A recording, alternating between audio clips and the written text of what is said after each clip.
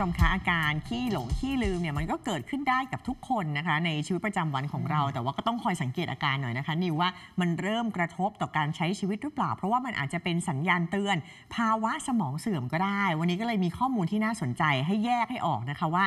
ขี้หลงขี้ลืมทั่วไป กับภาวะสมองเสื่อมเนี่ยมันต่างกันยังไง จะได้เข้าใจแล้วก็รักษาได้อย่างถูกต้องค่ะ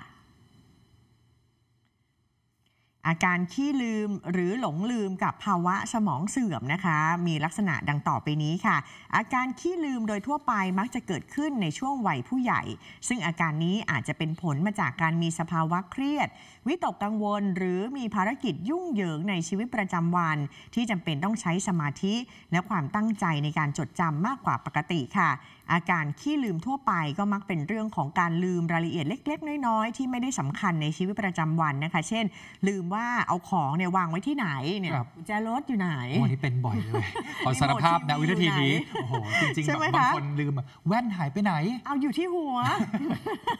นะคะ หรือว่าลืมเบอร์โทรศัพท์ที่ไม่ได้ใช้บ่อยๆ หรือว่าการลืมนัดหมายที่อาจจะไม่ได้สำคัญมากนะคะ แต่ภาวะสมองเสื่อมค่ะ เป็นภาวะที่มีอาการลืม และเป็นมากขึ้นจนมีผลต่อการใช้ชีวิตนะคะ อันนี้โดยเฉพาะอย่างยิ่งในผู้สูงอายุไม่สามารถใช้ชีวิตตามลำพังได้ค่ะภาวะสมองเสื่อมที่พบบ่อยอย่างเช่น ลืมชื่อคนในครอบครัว หรือเพื่อนสนิททั้งๆทที่พบกันเป็นประจำนะคะ ลืมข้อมูลสำคัญอื่น ๆ เช่นการนัดหมาย ทั้งที่มีการบอกซ้ำหรือว่าจดไว้แล้ว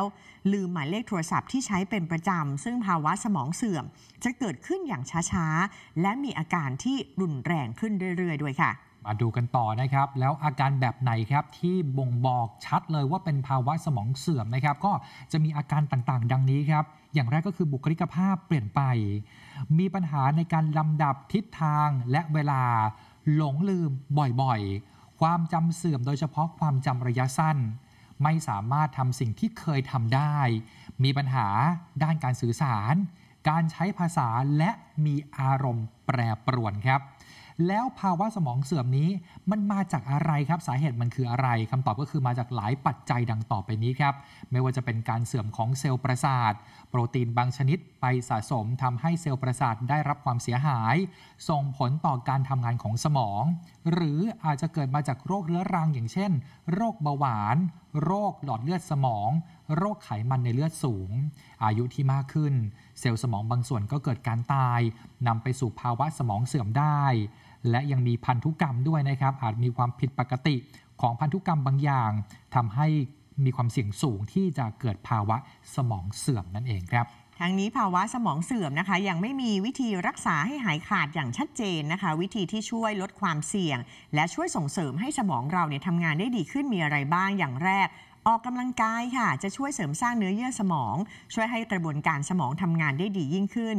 ดูแลสุขภาพทั่วไปนะคะ รักษาโรคที่เพิ่มความเสี่ยง เช่น โรคความดันโลหิตสูง โรคเบาหวาน โรคหลอดเลือดสมองค่ะ แล้วก็มีการฝึกสมองด้วยนะคะ ในผู้สูงอายุจะได้ช่วยเพิ่มความสามารถในการจดจำและประมวลผล ข้อมูลของผู้ที่เริ่มมีอาการขี้ลืม หรือว่าเริ่มมีภาวะสมองเสื่อมในระยะต้นค่ะ มันดูแลอารมณ์และจิตใจนะคะคิดเชิงบวก แล้วก็จัดการกับความเครียด ขอบคุณข้อมูลจากภาควิชาอายุรศาสตร์ คณะแพทยศาสตร์ โรงพยาบาลรามาธิบดี มหาวิทยาลัยมหิดลค่ะ